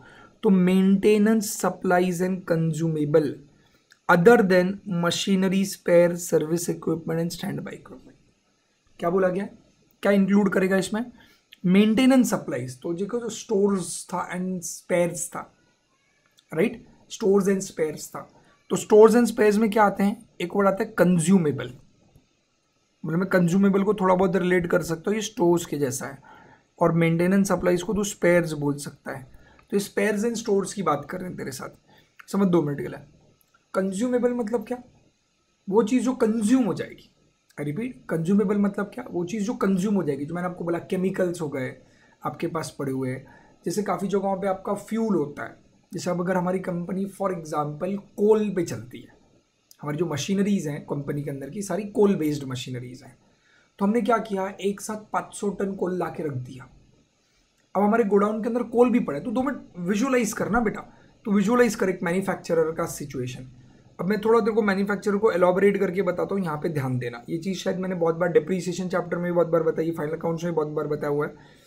बेटा मैन्युफैक्चरर का एक होता है फैक्ट्री और एक होता है उसका वेयरहाउस या गोडाउन। मैन्युफैक्चरर का एक होता है फैक्ट्री और एक होता है वेयरहाउस या गोडाउन। पहले ये समझ। मैन्युफैक्चरर की फैक्ट्री होती है और गोडाउन होता है। फैक्ट्री में क्या रहता है? फैक्ट्री में समझ एक पार्ट है तेरा जहाँ पर तूने मशीनरी रखी हुई है। फैक्ट्री में एक पार्ट तूने असाइन कर दिया कि यहाँ पर सारी मशीनरीज रखी हुई है। अब फैक्ट्री में मशीनरी के साथ एक ऐसा एरिया पड़ा रहता है जहाँ पर तेरा रॉ मटेरियल रखा जाता है। फैक्ट्री में एक ऐसा एरिया रह जाता है जहाँ पे तेरा रॉ मटेरियल रखा जाता है। फिर उसी के साथ साथ एक और एक एरिया रहेगा तेरे फैक्ट्री के अंदर, जहाँ पर तू सारे प्रोडक्शन में लगने वाली चीज़ें रखता है, जिसको हम कंज्यूमेबल्स कहेंगे। मतलब अगर मेरी फैक्ट्री मशीनरी पे चलती है और मशीनरी कोल बेस्ड चलता है तो मे बी यहाँ पर मैंने कोल रखा रहेगा, अलग से लेकर। या मैंने आपको बोला कोई केमिकल लेके रखा रहेगा जो मेरे प्रोडक्शन प्रोसेस में मुझे काम आता है एक्सेट्रा तो बेसिक मेरा रॉ मटेरियल तो रहेगा बट रॉ रॉ मटेरियल को टिपिकली क्या बोला जाता है? रॉ मटेरियल वो चीज़ें हैं which becomes the part of the finish good तेरा जो फिनिश गुड रहेगा, उसके अंदर वो रॉ मटेरियल इंक्लूडेड रहेगा। पर रॉ मटेरियल छोड़ के भी बहुत सारी चीज़ें लगती हैं प्रोडक्शन करने के लिए। तो प्रोडक्शन करने में एक रॉ मटेरियल लग जाता है और एक उसके साथ कंज्यूमेबल्स लग जाते हैं। कंज्यूमेबल वो चीज़ें होती है जो कंज्यूम हो जाती है बट जो फिनिश गुड में दिखती नहीं रॉ मटेरियल फिनिश गुड में दिखेगा बट रॉ कंज्यूमेबल नहीं दिखेगा। जैसे मैंने तो बोला तो फ्यूल फ्यूल मतलब कोल है। कोल पड़ा हुआ है तेरे पास बहुत सारा। ये सारी चीज़ें कहाँ पड़ी रहती है? सारी चीज़ें कहाँ पड़ी रहती है? तेरी फैक्ट्री के अंदर। फिर फैक्ट्री में एक एरिया रहेगा जहाँ पर क्या पड़ा रहता रहेगा? तेरा वर्क इन प्रोग्रेस बेटा, एक एरिया रहेगा जहाँ पर क्या पड़ा रहेगा? वर्क इन प्रोग्रेस मतलब आज सुबह, अब समझना ये मशीनरी है। प्रोसेस क्या होता रहेगा? आज सुबह हमने क्या उठाया? रॉ मटेरियल रॉ मटेरियल उठा के किधर डाला? मशीनरी के अंदर। मशीनरी में से वो आज प्रोडक्शन हुआ। मे बी आपका प्रोडक्शन प्रोसेसेस में होता है स्टेप्स में होता है। Step one step two step three right वैसा होता है। स्टेप वन में आप स्पेयर पार्ट्स को लाते रहोगे क्लीन करते रहोगे। स्टेप टू में दो स्पेयर पार्ट असेंबल होते रहेंगे। फिर स्टेप थ्री में और दो चार स्पेयर पार्ट्स उसमें असेंबल होते रहेंगे, फिर उसका टेस्टिंग होता रहेगा, फिर उसका बॉक्सिंग होता रहेगा। इस तरीके से अलग अलग स्टेप में तेरा प्रोडक्शन होता है और फाइनली आखिरी स्टेप के बाद तेरा फिनिश गुड जनरेट होता है। तो जब तक फिनिश गुड नहीं जनरेट हो रहा तब तक वो आधा दूरा बन के पड़ा हुआ है। वो भी फैक्ट्री में कहीं पे तो कोने पे रखा जाएगा, कहीं पे रखा जाएगा। तो फैक्ट्री में वो जो एरिया में पड़ा रहेगा, वो वर्क इन प्रोग्रेस रहेगा। तो जब तू थर्टी फ़र्स्ट मार्च को आएगा और थर्टी फ़र्स्ट मार्च को तू चेक करने जाएगा, क्या तेरे पास इन्वेंट्री स्टॉक किसका है? तो तेरे को स्टॉक रॉ मटेरियल का भी मिलेगा। सॉरी तेरे को स्टॉक रॉ मटेरियल का भी मिलेगा। तेरे को स्टॉक कंज्यूमेबल्स का भी मिलेगा। तेरे को स्टॉक वर्क इन प्रोग्रेस का भी मिलेगा। ये भी सारी चीज़ें तेरी पड़ी हुई रहेंगी। अब जब एक बार तेरा गुड्स किसमें कन्वर्ट हो गए? फिनिश गुड में, तब वो फैक्ट्री से शिफ्ट हो जाते हैं किधर? गोडाउन या वेयर हाउस में। यहाँ पर क्या रहते हैं? फिनिश को यूजुअली कोई भी ऑर्गेनाइजेशन फिनिश गुड अपने फैक्ट्री में नहीं रखता। फैक्ट्री अलग होती है वेयर हाउस अलग रहती है। मैंने सेवरल टाइम्स कहा हुआ है, ये डिस्कशन किया हुआ है। फैक्ट्री दूर दराज के एरिया में होती है। एमआईडीसी एरिया हो गए सेज हो गया स्पेशल इकोनॉमिक जोन्स ई हो गए एक्सपोर्ट ओरिएंटेड यूनिट्स एफ़ हो गए फ्री ट्रेड जोन जैसे अलग अलग तरीके से गवर्नमेंट ने एरियाज़ बनाए हुए हैं, जहाँ पर आप आपकी फैक्ट्री सेटअप करते हो। आपके फैक्ट्री वहाँ पर सेटअप होती है बट फिनिश गुड्स वहाँ पे स्टोर नहीं किए जाते। खत्म हो गया। फिनिश गुड्स को कभी फैक्ट्री में नहीं रखा जाता है। एक अलग से गोडाउन बनाया जाता है। नॉर्मली ये फैक्ट जो गोडाउन होता है, ये किसी मार्केट या फिर सिटी के नज़दीक रहता है। क्या आपका जो वेयर हाउस रहता है, गोडाउन जो रहता है, वो मार्केट या सिटी के नज़दीक रहता है, ताकि आप इजीली गुड्स को लेकर उनको डिलीवर कर सको इमीजिएटली वहाँ पर। आ रहा है कुछ समझ में? एवरी वन विथ मी पक्का वाला? बढ़ जाऊँ आगे? श्योर डन सो यहाँ पे तेरा लॉजिक क्या आ गया? वेयर हाउस में जाके तू क्या स्टोर करेगा? फिनिश गुड स्टोर करेगा वेयर हाउस के अंदर जाकर और उसकी भी इन्वेंट्री रहेगी। तो तेरे क्लोजिंग स्टॉक किस किस का रहेगा? Closing stock thirty first March को जब तू क्लोजिंग स्टॉक निकालेगा तो एक मैन्युफैक्चरर के पास रॉ मटेरियल का क्लोजिंग स्टॉक रहेगा वर्क इन प्रोग्रेस का रहेगा फिनिश गुड का रहेगा कंज्यूमेबल्स का रहेगा। और और एक वर्ड वहाँ पे यूज़ किया गया उन लोगों ने मेंटेनेंस सप्लाईज अब तो काफ़ी बार कुछ मेंटेनेंस सप्लाईज लगते हैं। मतलब गुड्स को मेंटेन करने के लिए कुछ सप्लाई करना पड़ता है। मतलब गुड्स को मेंटेन करके रखने के लिए मैं भी क्या, जैसे छोटा सा एग्जांपल देता हूँ। भाई तू गुड्स रख रहा है तेरा। मे बी तेरा गुड्स कोई फ़ूड प्रोडक्ट है, समझ डेरी मिल्क की बात कर लो कैडबरी कंपनी जो है, जो डेरी मिल्क बनाती है, उसने क्या किया? डेरी मिल्क जब बनाती होगी तो डेरी मिल्क को बनने के लिए शायद तीन चार दिन लगते रहेंगे। पहले वो रॉ चॉकलेट लेते रहेंगे, उसको कुछ मेल्ट करते रहेंगे, उसको कुछ बॉईल वगैरह करके प्रोसेस करते रहेंगे, फिर उसमें कुछ और चीज़ें ऐड करेंगे, जैसे फ्रूट एंड नट हो गया तो उसमें कुछ ड्राई फ्रूट्स ऐड होंगे सिल्क के अंदर शायद चॉकलेट को और ज़्यादा टाइम उसको रखा जाएगा, कुछ तो प्रोसेस होता रहेगा I am not technical into it but आप परसीव कर सकते हो अपने माइंड के अंदर कि कुछ तो ऐसा प्रोसेस होता रहेगा। फिर वो प्रोसेस हो के फिर उसको कहीं पे ठंडा करने के लिए रखा जाएगा, उसके ये होंगे, आप अगर उसको ये अगर समझते हैं वी कॉल इट सांचे रहते हैं। सांचे राइट अगर घर पे आपने कभी आइसक्रीम्स बनाई रहेंगी या चॉकलेट्स बनाए रहेंगे घर पे तो उसके सांचे रहते हैं राइट उसको एक बहुत अच्छा नाम दिया जाता है। That is basically your moulds होते हैं, उसको मोल्ड्स कहा जाता है टेक्निकल वर्ड में। M O U L D S moulds तो जो मोल्ड्स होते हैं तो मोल्ड्स तेरे एक तरीके का मेंटेनेंस सप्लाई तेरे प्रोडक्शन प्रोसेस को मेंटेन करने के लिए बीच में कुछ तो लगता है। अब वो मोल्ड्स की लाइफ ज़्यादा नहीं रहती, शायद वो एक दो बार यूज़ होकर तीसरी बार फेंक देने पड़ेंगे। कुछ मोल्ड्स ऐसे होते हैं जो शायद दो तीन दिन की लाइफ रहती है। कुछ मोल्ड्स ऐसे रहते हैं जो four times five times use होने वाले रहते हैं, उसके बाद उनको फेंक देना पड़ता है। तो शायद आपके मोल्ड्स की लाइफ बहुत कम है हाँ अगर वो मोल्ड्स बहुत लंबे समय तक यूज़ होने वाले रहेंगे then they become fix asset फिर वो फिक्स एसेट हो गए। प्रोमोल्ड जो लिमिटेड पीरियड के लिए यूज़ या फिर फॉर एग्ज़ाम्पल तुम वो चॉकलेट को उठा के किसी टिश्यू पेपर पे रखते रहोगे थोड़े टाइम के लिए। ये कोई अलग तरीके का पेपर रहता होगा, जिस पेपर पे तुम उसको दो तीन घंटा रखते रहोगे सोक करने के लिए, जैसे ऑयल प्रोडक्ट्स के लिए होता है। समझ तो चिप्स बनाता है, बालाजी वेफर्स तो बालाजी वेफर्स वो वेफर्स निकाल लेने के बाद वो लोग क्या करते हैं, भाई वो पेपर रहता होगा उसका टिश्यू पेपर उस पर थोड़ा टाइम रखते हैं ताकि उसके अंदर का ऑयल वो सोक कर ले पूरा। आ रहा है कुछ समझ में। तो टिश्यू पेपर एक तरीके का उनका सप्लाईज हो गया कंज्यूमेबल्स हो गई ये सारी चीज़ें। तो उनको टिश्यू पेपर भी रखना पड़ता रहेगा। आपको नहीं लग रहा प्रोडक्शन प्रोसेस में रॉ मटेरियल छोड़कर मशीनरी आपको क्या समझ में आता है? मशीन है मशीनरी फिक्स सेट है, उसमें मैंने रॉ मटेरियल डाला। बट रॉ मटेरियल डाला और तो मशीनरी में से गुड़ गुड़ गुड़ गुड़ हिल के सीधा फिनिश गुड़ थोड़ी बाहर आता है। अरे बहुत सारा प्रोसेस होता है ना बीच में। बहुत सारी चीज़ें होती है जो लगती हैं। तो जैसे मैंने आपको एग्जांपल दे दिया ऑयल हो गया, अभी बालाजी वेफर्स का एग्जांपल दिया तो उसको ऑयल लगता रहेगा प्रोडक्शन करने के लिए। तो ये सारे उसके रॉ मटेरियल्स कंज्यूमेबल्स या स्पेयर्स आ गए मेंटेनेंस सप्लाईज आ गया, उसका प्रोडक्शन प्रोसेस में मेंटेन करने के लिए बीच में कुछ डालना पड़ता है। तो ये सारी चीज़ें को आप लोग क्या बोलते हो, ये भी आपकी एक तरीके की इन्वेंट्री इसलिए वो थर्ड पॉइंट में कवर किया गया है। थर्ड पॉइंट एक कॉमन वर्ड बोलता है हेल्ड फॉर क्या? कंजम्पशन ये कंज्यूम हो रहा है प्रोडक्शन प्रोसेस के अंदर। वो रॉ मटेरियल भी हो गया ये सप्लाईज भी हो गए अलग अलग तरीके के मोल्ड्स हो गए अलग अलग तरीके, जो भी चीज़ें आप प्रोडक्शन प्रोसेस के लिए यूज़ करो वो इसमें आ गया। आ रहे समझ? पक्का? बढ़ू में आगे? शो उन्होंने एक वर्ड क्लियर कट बोला है। ये जो हम सप्लाईज बोल रहे हैं, जो चीज़ें बोल रहे हैं मोल्ड्स वगैरह, ये सब जो बोल दिया छोटे स्पेयर्स बोल दिए छोटे मोटे पार्ट्स हो गए। ये पार्ट में हम कहीं पर भी इसमें किसको इंक्लूड नहीं करेंगे? मशीनरी के स्पेयर पार्ट्स को नहीं इंक्लूड करेंगे। कोई भी अगर आपके पास फिक्स असेट है मशीनरी उसका स्पेयर पार्ट हो गया, क्या बोला उन्होंने? अदर देन मतलब इन्वेंट्री में ये नहीं आएगा। क्या इन्वेंट्री में नहीं आएगा? Machinery spares servicing equipment machinery के सर्विसिंग के इक्विपमेंट्स होते रहेंगे, जैसे आपके अलग अलग स्क्रू ड्राइवर हो गए, पाने हो गए, ये सारे मशीनरी को अगर संभालने के लिए काम आ रहे हैं, या स्टैंड बाई इक्विपमेंट इसको मैं दो मिनट बाद समझाता हूँ। पर मैं क्या कह रहा हूँ, ये जो स्क्रू ड्राइवर हो गया, या अलग से कुछ मशीन क्लीन करने का मशीन जैसे वैक्यूम क्लीनर आपने रखा हुआ है, जो आपके मतलब सादा घर वाला वैक्यूम क्लीनर नहीं, बड़ा वैक्यूम क्लीनर रखा है, जो दो दिन बाद आप पूरे मशीनरी को उस वैक्यूम क्लीनर से क्लीन करते रहोगे तो वो सारी चीज़ें होंगी जो मशीनरी को सर्विसिंग के काम आती है मशीनरी के स्पेयर पार्ट्स के हिसाब से काम आती है they are not covered under the inventory they are covered under the fix asset उसको फिक्स असेट ट्रीट किया जाएगा। यहाँ पर एक वर्ड यूज़ किया गया बेटा stand by equipment stand by equipment मतलब कौन से इक्विपमेंट वो इक्विपमेंट जो तो स्टैंड बाय मोड पे रख रहा है। क्या होता है स्टैंड बाई इक्विपमेंट मतलब बहुत सारी कंपनीज़ काफ़ी बार क्या करती हैं दो दो मशीन्स रखती है मैन्युफैक्चरिंग और दो दो सेटअप बना के रखती है।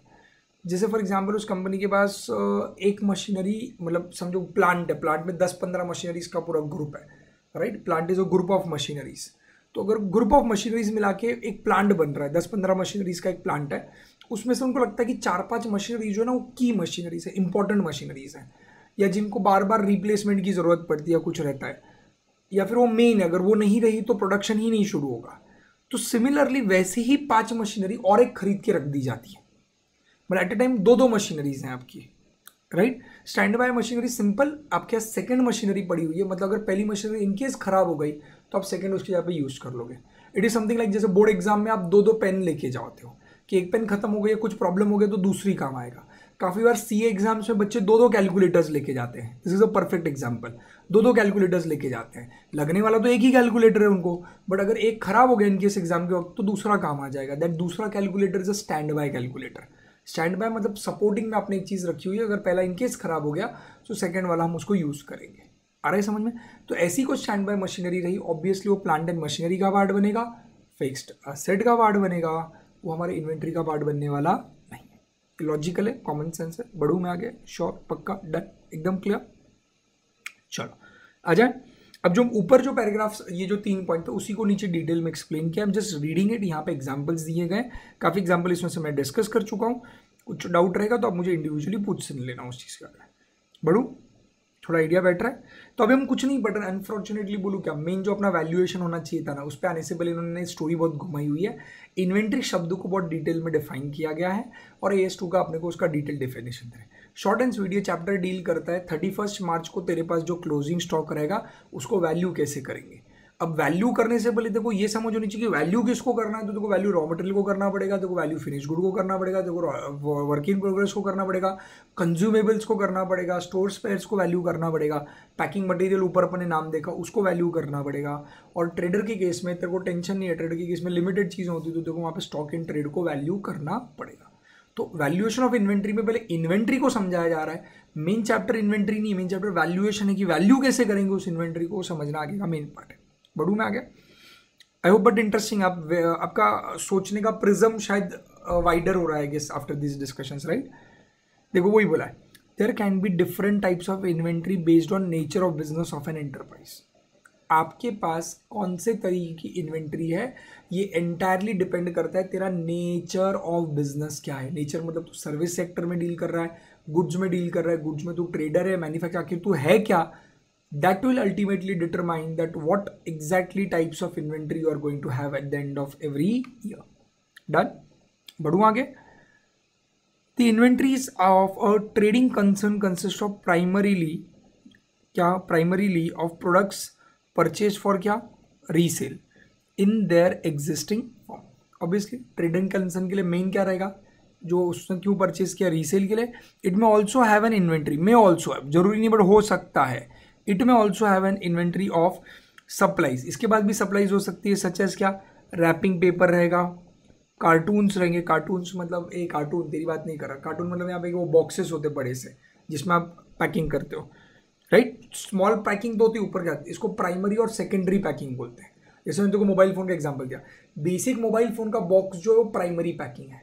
पर ऐसे पचास मोबाइल फ़ोन का जो एक बड़ा बॉक्स बनेगा, उसको क्या बोला जाता है? सेकेंडरी पैकिंग सेकेंडरी पैकिंग में कार्टून यूज़ होते हैं बड़े बड़े बॉक्सेस फिर स्टेशनरी रहेगा तेरे पास, वही चिकट पट्टी टेप रहेगी लगाने के लिए स्टेपलर पिंस रहेंगे, जो भी आप ग्लू रहेगा स्टिक करने के लिए whatever you are using it inventory of a manufacturing concern. अब अपन मैन्युफैक्चरिंग कंसर्न की बात करें तो consist of several types of inventories क्या क्या आएगा मैन्युफैक्चरिंग में? रॉ मटेरियल आएगा which will become the part of the goods जो मैं आपको चीक चीक कर कह रहा था। गुड्स टू बी प्रोड्यूस्ड उसका पार्ट बनेगा। वर्क इन प्रोग्रेस रहेगा, जिसको हम partially completed products in the factory बोलेंगे, और फिनिश गुड रहेगा। ये तीन तो रहेंगे but in manufacturing concern inventory will also also include maintenance supplies consumables loose tools छोटे मोटे टूल्स छोटे मोटे टूल्स मतलब जैसे अगर एंड स्पेयर पार्ट्स छोटे मोटे स्पेयर पार्ट या छोटे मोटे पार्ट जैसे मोल्ड्स वगैरह मैंने आपको बोला, वो स्पेयर पार्ट्स में आ गया। लूज टूल्स में छोटे छोटे लूज टूल्स आ गए। हाँ आपके जानकारी के लिए बता दूँ लूज टूल्स जो होता है, यहाँ पर ये चैप्टर कहता है कि लूज टूल्स तुमने क्या दिखाना? इन्वेंट्री का पार्ट ट्रीट करना। बेटा वापस समझ। लूज टूल्स दो तरीके के हो सकते हैं। एक लूज टूल्स जो मशीनरी के लिए काम आए that will become the fix asset इसलिए आज तक आपने अगर बचपन में देखा रहेगा तो आपने बैलेंस शीट में लूज टूल्स को असेट्स में दिखाया है और उसके ऊपर डिप्रीसिएशन भी लिया है। तो आपको आज तक जो लूज टूल्स दिए जाते थे, वो फिक्स असेट्स वाले लूज टूल्स दिए जाते थे। जैसे छोटे मोटे मैंने आपको बताया था स्पेयर पान वगैरह, जैसे आपका अगर बड़ा शॉप है, आपको पता शॉप का बहुत बड़ा शटर रहता है काफ़ी बार। तो शटर को बंद करने के लिए बड़े से रॉड यूज़ किए जाते हैं। That becomes a part of your loose tools तो वो फिक्स एसेट का पार्ट बन गया। बट अगर प्रोडक्शन प्रोसेस में कुछ लगता है जैसे मेरा फॉर एग्ज़ाम्पल ये आ गया आ, ये मैंने आपको चिप्स वगैरह का एग्ज़ाम्पल दिया बालाजी वेफर्स बनाने का है। तो जब हम फ्राई करते रहेंगे तो फ्राई करने के लिए अपन फ्राइंग पैन वगैरह यूज़ करते रहेंगे या छोटा मोटा कोई रॉड वगैरह उसको स्टिर करने के लिए यूज़ करते रहेंगे। पर उनकी लाइफ ज़्यादा नहीं होती रहेगी उनको हमको थोड़े टाइम में रिप्लेस करना पड़ता रहेगा। तो will treat it as in current asset और नॉर्मली वो पैन हो गया या वो स्टरर हो गया ऐसी चीज़ें हम लोग बहुत बल्क क्वांटिटी में खरीद के रखते हैं।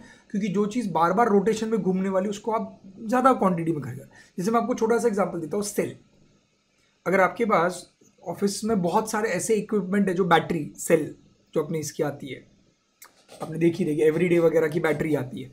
अब ये बैटरी वगैरह आप जो यूज़ करते हो, आपको नहीं लगता ये बार बार यूज़ होने वाली चीज़ नहीं है, एक बार यूज़ हो गई, ख़त्म हो गई। तो तू इसको क्या बोल सकता अगर तेरे पास ऐसा कोई ऑफ़िस में प्रोडक्ट है तो तू ऑफ़िस में तेरे पास ऐसे बहुत सारी मशीनरी है जो सेल पे चलती है तो तू उसको फिक्स एसेट थोड़ी ट्रीट करता हो सेल को। और अगर वो तेरे प्रोडक्शन प्रोसेस में सेल काम आने वाला है रॉ मटेरियल को फिनिश गुड कन्वर्ट करने में काम आने वाला है तो that sell will become a loose tool और अ स्पेयर पार्ट और a consumable store for you और फिर तू उसको यूज़ करके फेंक देगा। वैसे अगर मेरा चिप्स बनाने का बिज़नेस है या कुछ फ्राइंग प्रोसेस है मेरे अंदर तो फ्राइंग प्रोसेस का जो थोड़ा बहुत पैन लगता रहेगा, वो नॉर्मली हम थोड़े टाइम बाद रिप्लेस करते रहेंगे ताकि हमारी क्वालिटी मेंटेन रहे प्रोडक्ट की। तो फिर अगर हाँ अगर लॉन्ग टर्म यूज़ होने वाला रहेगा तो फिनिश गुड बनेगा। शॉर्ट टर्म वाला रहेगा, जिसको थोड़े थोड़े टाइम में आप रिप्लेस कर दोगे यूज़ करोगे, थोड़े टाइम बाद फेंक दोगे, वापस नया ले लोगे, इसको फिर आप लोग क्या ट्रीट करोगे? Treat it as your inventory am I very clear तो यहाँ पर उन्होंने बोला कि अलॉन्ग विद दैट ये बाकी की छोटी छोटी भी चीज़ें रहेंगी जो आपका इन्वेंट्री का पार्ट बनेगा। डन चल however inventory do not include वही जो अपने पहले बात किया spare part servicing equipment and standby equipment which can be used only in the connection of an item of fixed asset and whose use is expected to be irregular such machinery spares are generally accounted for as a fixed assets similarly in an enterprise engaged in a construction of a business project under construction are also considered as an inventory अभी obviously इस part में मैंने discussion नहीं किया ये zoom करके कि आपको ये पार्ट पता होगा कि what do you mean by the word goods I hope यहाँ पे बैठा बच्चा बच्चा जानता है गुड्स क्या होते हैं राइट वैसे मतलब थोड़ा मैं आगे भाग के अजूमिंग ये पता होगा, अगर नहीं पता तो sorry I am repeating it point goods is a thing in in which a business deals आप जिसमें डील करते हो गुड्स है. आई होप आपको डिफरेंस पता होगा गुड्स एंड फिक्स एसेट्स के बीच का फ़र्क शायद पता होगा. फिक्स एसेट्स वो चीज़ होती है जो आप क्यों खरीदते हो, क्योंकि आप उसे क्या करने वाले हो यूज़ करने वाले हो। इधर तक मेरे साथ है दो तो आई होप सबको पता होगा कि person to person organisation to organisation goods और फिक्स एसेट्स बदलते हैं। अगर मेरा फॉर एग्ज़ाम्पल मोबाइल शॉप ही है तो मोबाइल मेरे लिए गुड्स है। पर तेरा अगर फॉर एग्जांपल कंप्यूटर शॉप है जहाँ पे तू मोबाइल नहीं बेचता तेरे लिए जो ऑफ़िस में तूने मोबाइल रखा रहेगा, वो तेरा असेट है। मेरा मोबाइल शॉप ही है, मेरे लिए कंप्यूटर फिक्स असेट्स हैं, पर तेरे पास जो कंप्यूटर पड़ा है, वो तेरे लिए गुड्स है। तो जो इंसान जो चीज़ में डील करता है, उसके लिए वो गुड्स बन जाता है। होप यू बेसिक चीज़ समझ में आता है? पक्का वाला? एकदम क्लियर है? अब इसमें एक मज़ेदार पॉइंट समझते हैं। मोबाइल शॉप वालों के लिए मोबाइल गुड्स है कंप्यूटर शॉप वालों के लिए कंप्यूटर गुड्स है। इजेंट इट सो पक्का वैसे ही ऑटोमोबाइल स्टोर्स वालों के लिए जो होंडा के शोरूम्स हो गए या फोर व्हीलर की गाड़ियों के जो शोरूम्स हो गए, इनके लिए गाड़ियाँ सब क्या बन गई? गुड्स बन गई। पर दूसरे पर्सन के लिए फिक्स एसेट बन जाएगा क्योंकि जो दूसरा पर्सन वो गाड़ी खरीदेगा, वो गाड़ी बेचने के लिए नहीं खरीद रहा यूज़ करने के लिए खरीद रहा है। तो उसके लिए वो गाड़ी क्या बन गई? असेट बन गई बट वो शोरूम वाले के लिए वो गाड़ी क्या बन गई? गुड्स बन गई। तो मज़ेदार बात यह है कि वो गुड्स जब मेरे पास बच जाएँगे, पड़े रहेंगे तो मेरा स्टॉक है, वो मेरा करंट एसेट है। क्यों मेरा स्टॉक और करंट एसेट है? क्योंकि वो मैंने अभी तक बेचा नहीं है, मेरे पास अभी तक पड़ा है। जिस दिन मैं बेच के तेरे को दे दूँगा वो गुड्स तेरा वो फिक्स असेट बन जाएगा, तू उसके ऊपर सालों साल डिप्रिसिएशन कैलकुलेट कर। बट तू तेरा असेट दिखा के उसके ऊपर डिप्रिसिएशन कब कैलकुलेट करेगा? Once I sell your you those goods but unless and I am not selling those goods to you they become the part of my stock and they will be treated as in current asset for me they won't be treated as a fixed assets of mine because i'm not at all going to use it i'm just going to deal in it तो मेरे लिए जो current asset है जब वो तेरे को transfer होगा तेरे को जाकर वो फिक्स्ड एसेट बन जाएगा बॉस राइट right? तो लास्ट में उन्होंने बस वो एक एडिशनल पॉइंट डाला है कि जो बिल्डर लोग हो गए उस बिल्डर के लिए वो land building flat shop office ये सब क्या है? गुड्स है। और अगर तू बिल्डर का थर्टी फ़र्स्ट मार्च का स्टॉक निकालने जाएगा बिल्डर का थर्टी फ़र्स्ट मार्च का स्टॉक निकालने जाएगा तो उसका जो थर्टी फ़र्स्ट मार्च का स्टॉक है मतलब ही उसके क्लोजिंग स्टॉक में तुझे क्या मिलेगा बेटा? इन्वेंट्री में क्या मिलेगा तुझे उसके? ये शॉप फ्लैट ऑफ़िस और वही अगर ऑफ़िस मैं खरीद लेता हूँ तो मेरे लिए वो बिल्डिंग का पार्ट बन गया, वो मेरा असेट बन गया फिक्स असेट बन गया. बट बिल्डर के लिए ये सारे शॉप ऑफ़िस फ्लैट लैंड ये सब क्या बन गए? गुड्स बन गए. एंड जो उसके पास अनसोल्ड पड़े रहेंगे, जो भी उसके पास अवेलेबल रहेंगे that will become the part of its closing stock आप समझते हो एक बिल्डर की बैलेंस शीट छोड़ दे. एक बिल्डर के ट्रेडिंग अकाउंट के क्रेडिट साइड में कितना huge amount of closing stock दिखता होगा? क्योंकि लगता है एक बिल्डर के ट्रेडिंग अकाउंट के क्रेडिट साइड में huge amount of closing stock दिखता रहेगा।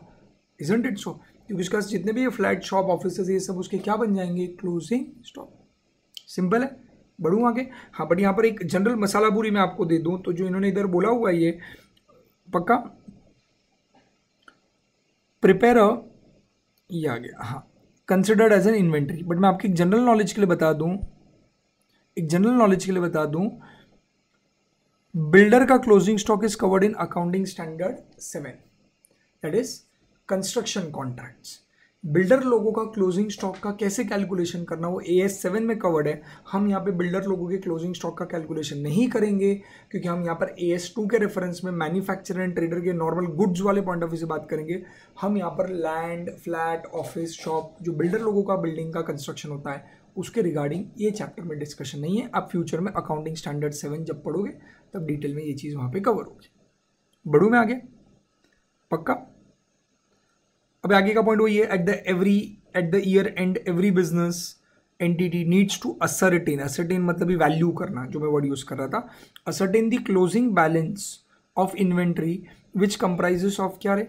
Inventory of raw material work in progress finish good and other consumable items value of closing inventory is put जो वैल्यू तूने ढूंढ ली, ये रिकॉर्ड करते हो कहाँ रिकॉर्ड करेगा? वो put at a credit side of a trading account and asset side of balance sheet so before preparation of final accounts the accountant should know the value of inventory of the business how your we shall restrict our discussion on inventory valuation of manufacturing concern मिला क्या रे? पर inventory valuation of manufacturing concern and goods of a trading concern done. हमारा discussion यहीं तक restricted रहेगा। पक्का? Show अब मैं आपकी जानकारी के लिए यहाँ पर एक चीज़ बता दूँ। हम इस चैप्टर में कौन सा वैल्यूएशन पढ़ेंगे? वापस आ जाए, समझ जाए। हम इस चैप्टर में जब वैल्यूएशन पढ़ने की बारी आएगी, हम इस चैप्टर में किसका वैल्यूएशन पढ़ने वाले हैं? तो मैं आप लोगों को पहले उसके पॉइंट्स बता दूँ तो आपके माइंड में पहले क्लियरिटी आ जाए। इस चैप्टर में हम लोग सिर्फ़ मैन्युफैक्चरर का रॉ मटेरियल का वैल्यूएशन सीखेंगे। और ट्रेडर का ट्रेडर का स्टॉक इन ट्रेड का वैल्यूएशन पढ़ने वाला है। हमारे सिलेबस में इन्वेंट्री का डेफिनेशन तो दिया है बट जो वैल्यूएशन कराना सिखाएँगे हम इस चैप्टर में, अगर तो मैन्युफैक्चरर है तो तेरा वर्क इन प्रोग्रेस कैसे वैल्यू होगा, ये बहुत इंटरेस्टिंग है, ये आपके, जो मैंने आपको कहा था कि कॉस्टिंग सब्जेक्ट सीए इंटर में मिलेगा, उसमें ही डिटेल में है। फिनिश गुड कैसे करना ये भी तुमको कॉस्टिंग में आगे मिलेगा वैल्यूएशन स्पेस पैकिंग मटेरियल ये सब नहीं इतना इंपॉर्टेंट रिलेवेंट नहीं है। आपको फ़िलहाल के लिए फाउंडेशन लेवल पे सिर्फ़ रॉ मटेरियल का और स्टॉक इन ट्रेड का, मैं बार बार नहीं बोलूँगा।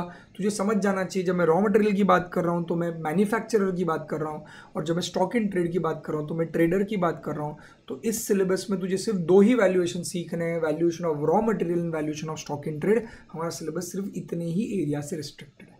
आई होप सबको बैकग्राउंड समझाए इंट्रोडक्शन समझाए agree every one with me अभी यहाँ पर एक चीज़ मैं बता दूँ, बहुत बच्चों के मन में डाउट आएगा, सर, इसको फिक्स असेट बोलेंगे या इन्वेंट्री बोलेंगे? कैसे समझने का?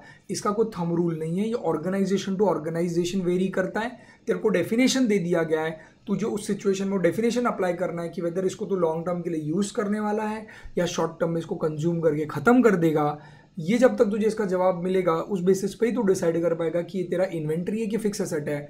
अलग अलग ऑर्गेनाइजेशन के लिए अलग अलग चीज़ें इन्वेंट्री और फिक्स एसेट बन सकती है। That's where your presence of mind and your application of knowledge is required in real life आ रहे समझ में?